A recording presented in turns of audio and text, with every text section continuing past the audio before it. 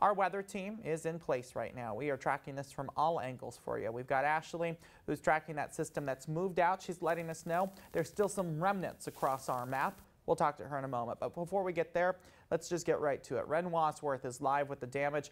Uh, Ren, it's pretty significant. Bradley, that's absolutely right. As you were just saying, the damage is pretty significant.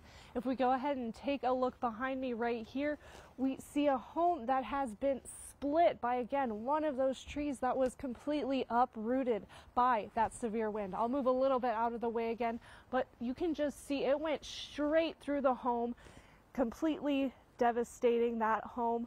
Again, just extensive damage across especially the Billings Height areas, but we know that other areas in Billings are seeing similar damage. We're seeing it in Lockwood, we're seeing it in the West End, we're seeing it a little bit on the south side, but the Heights definitely got hit the hardest. If we take a look yesterday to some of the video we had from the storm when it first happened, you can see that those winds were just whipping around. The hail was Again, you guys mentioned it earlier, golf ball sized or even a little bit bigger. And that was just whipping through the entire area. It happened quickly and then it was over quickly as well. It only took about 45 minutes in total to do the extensive damage. Now, when we're moving back towards today, we saw neighbors coming out, getting those branches out of the way, getting the debris out of the street. So many of our main roadways are pretty clear looking at the day after the storm.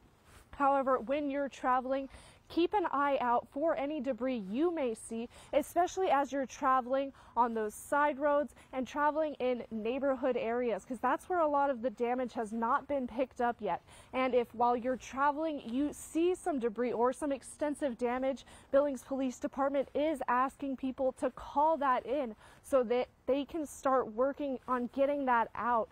We've been in contact with the city of Billings and we're trying to figure out if there's a good place for people to be sending that debris to, but we do know that the Billings dump is expecting to get a lot of that coming back in to them today. So again, just while you're traveling, make sure you're keeping an eye out, taking it slow so that you can make sure that everything around you is safe for you. We'll continue to keep an update on the aftermath and the cleanup for you, but for now, I'm Ren Wadsworth reporting live. Back to you, Bradley. All right, Ren, thank you. Just real quickly, for many people who are just waking up right now, they're getting ready to head to work. Uh, your commute in, how did it look today?